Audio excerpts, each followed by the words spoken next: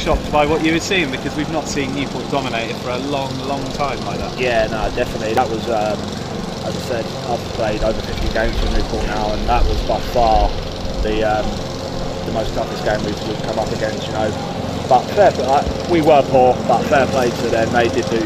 They played really well. They kept the ball. They moved us around.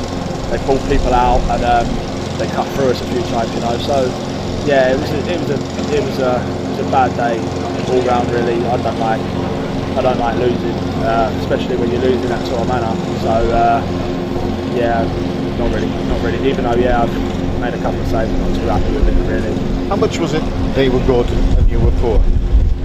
Both really, both really. I think uh, yeah, I really just think we were the worst we played, and I'm sure they were. I'm sure they don't play as well as that every week. Do you know what I mean? So yeah, no one really, no one really turns us over like that. And as I said, I've played 50 odd games now, and we've always been in games and whatever. And we just looked out of that by by half time today, and we just summed it up when uh, I made a decent save, and then we've got down the other end, got a penalty, and then missed it. So from us nearly going 3 0 down to almost going 2 1, once that once that happened, it was uh, it was game over really.